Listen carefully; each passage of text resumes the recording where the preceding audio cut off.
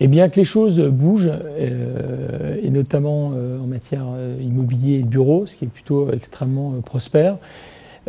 avec des bureaux qui sont de moins en moins appréhendés sous l'angle du coût de la charge pour les entreprises, mais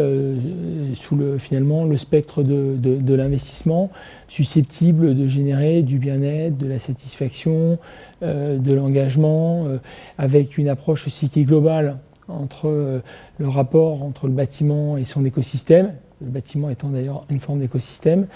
Euh, et ça, c'est extrêmement euh, à la fois encourageant, prospère pour nous les investisseurs, promoteurs, investisseurs, qui fabriquons ces immeubles avec les architectes et puis en lien avec les utilisateurs. Donc très encourageant.